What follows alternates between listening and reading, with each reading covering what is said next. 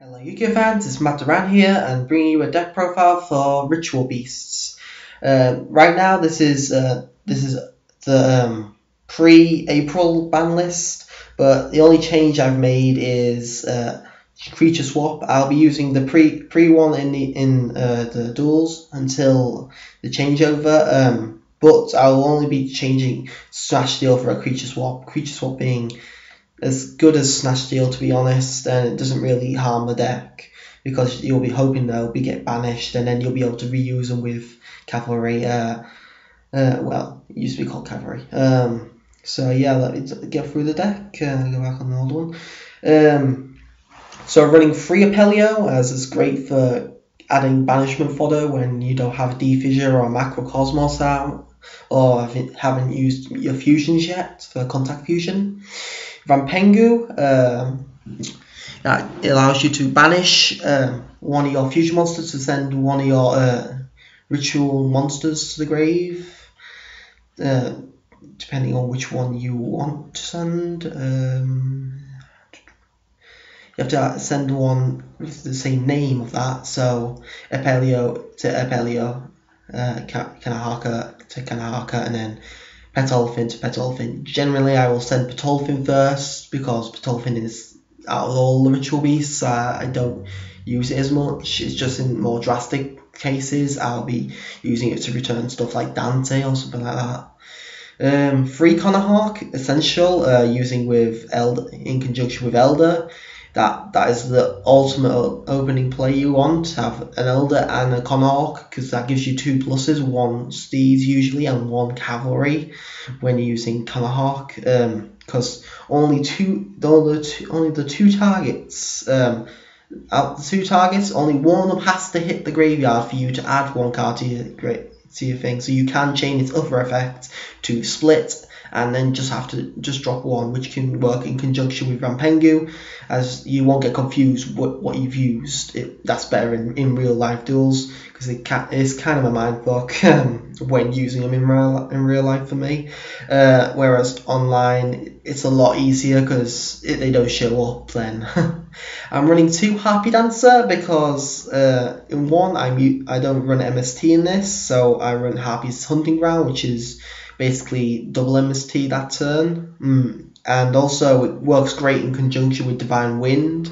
But I don't run Terraforming because these are just helpful bits. They don't. They're not the essential part of the deck. So, and it can also reignite the usage of of Wen and Lera. Um, one Pettlephin is the, out of all of them where is the use most useless because it only target only adds it back to the hand. If you had, had put it back onto the top of the deck, you would see more use, but no, it, it does not. Um, I should mention all these can only be special summoned once per turn. That's how it. That's how the deck's limited. Um, and then we get onto the Tamers. Wen is the one who special summons a banished uh, Ritual Beast monster from your banishment zone, obviously. Um, and then we have Tamer, which is the Cataster of the Ritual Beasts, and Lera, which special summons from your graveyard, which is the Call the Haunted of the Ritual Beasts. DDR, Caster, and Call the Haunted there.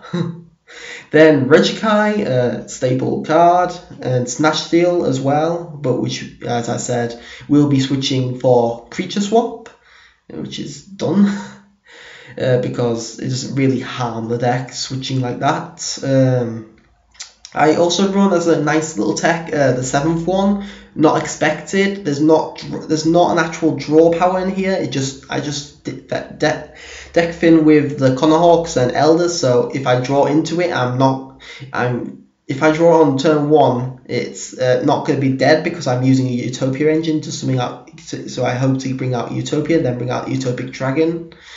Um, but if I draw it later in the game, it's like what it's like what the fuck to the opponent because they won't expect it, and I bring out um, C107.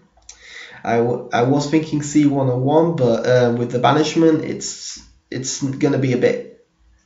Uh, I don't I didn't like it. Um, so I went for C107 for the power to go against the Qliphorts with 4500 attack. I, even the strongest are not going to be able to destroy that. And with an effect to negate effects on the field until till the end of the turn. That's quite good as well. Um, we have Gold Sarcophagus, uh, very needed in this deck. Great to banish. Um, one, uh, banish one of these to fuel the rest of them, although you probably won't add it to the hand. Or if you're in a bad position, maybe add your Raigeki or your Macrocosmos or even Vanity. Um, free E-Tellies. This is the reason why E-Telly went up. Um, is because you can easily special summon one of those out and get and get all prepared for your ritual beast summonings. Uh, D-Fissure and Macrocosmos because banishment does not hurt this deck. If it goes against dark matter, it's like, oh my god, yay! I want I want those cards banished. So that actually helps them. Like Crush card against something like Cliff uh, against Nekroz, it won't really hurt them that much. Although it's still a powerful card. Don't get me wrong, it's still a powerful card, but um, it won't hurt as much as it would to like your Senju. Senjus, they will be hurt quite bad unless especially if they're not running anything higher than 1500 that's not Kama 1 or Kama um, Kama 2 uh, although you can target Kama 3 as well um, but Kama 2 I'd say is the most likely one you get rid of and then you've got you've more or less lost the ability to attack directly and gain from Kama 3 um, as I said Divine Wind to special summon one of these when I return with Harpie Dancer Harpies' Hunting Ground as a way of MSTing because I didn't have space for the MSTs to be honest. And back row isn't too bad for this because ability Apelio when attacking is not affected by other card effects, which means it doesn't isn't affected by Apelio either. So be careful. It's going to have 2,600 whatever it attacks, um, unless it's unless its effects are negated. Um, although I don't know if that would cause some kind of uh, it would be allowing it, but I don't think it would. Most likely it'll be a Phoenix chained, so you then untarget it by getting rid of sorry, um, getting rid of just returning it back. Um, because when they targeted, they could just return. So bottomless is just a laugh to them because they'll just return and then they won't lose anything. Um, as long as they have targets that haven't been special summoned. Then the main card that you'll love to get is Steeds, destroying monsters on the opponent's side of the field for up to, and they can be chipped, and you can chain your monster. So it looked like one, and then switches to two. so it, it, depends on what you need, um, and very much also banish fodder for the Apellium, and can be added with Cannahawk, uh, bottomless staple trap like Compulse and Vanity. I would say becoming a staple trap now it's only one. You'll be able to put in anything and it won't really it won't really take out a chunk. So you can run in anything, even if it's even if it relies on special summoning. You could bring out one vanity just in case you're going against Nekroz or Burning Abyss. So yeah, and Cavalry, which is DDR and Monster Reborn. DDR and Call the Haunted, not Monster Reborn, can't Reborn for opponents, but uh, Call Haunted and uh, DDR together, uh, special summoning two two monsters, and then you can fusion summon during your your turn.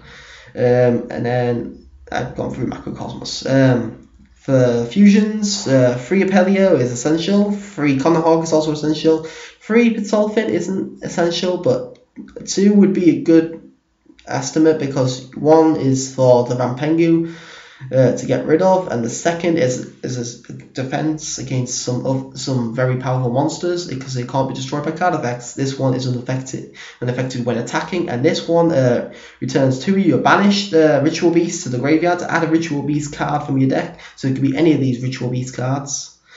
Um, and then to the exceeds, Utopic Dragon and C1, C107 all to go together. That's just a chunk together. And then the typical Lightning Chidori, because it's amazing, Castel, Staple, and Exciton Staple. No 101 in this, unfortunately. So yeah, uh, hope you enjoy the build. It's um, its main usage is to uh, uh, special summon like hell and just mindfuck to be honest, um, and have a lot of uh, draw adding power with this. Uh, so I hope you enjoyed this um, deck profile. Uh, please like and subscribe if you did for more content.